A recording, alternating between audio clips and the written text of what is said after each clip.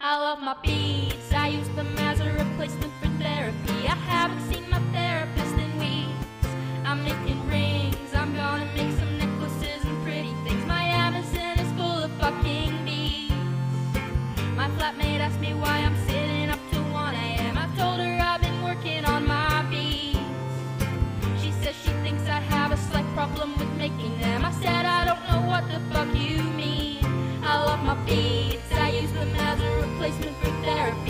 haven't seen my therapist in weeks.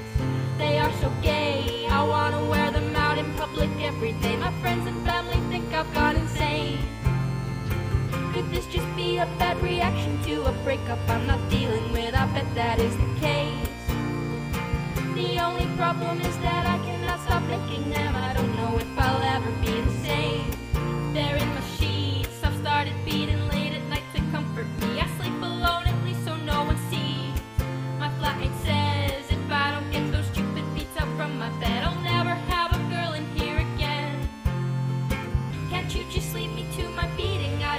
and foot I bet girls will think my feet are neat Anyway, I do not want to bang someone who can't deal with rolling on some beats Guess I'm a freak.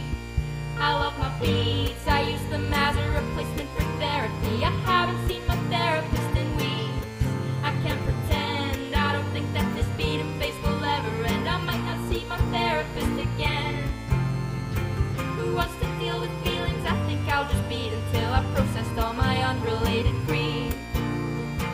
I'll beat the pain away until I get to Wednesday. I'm going back.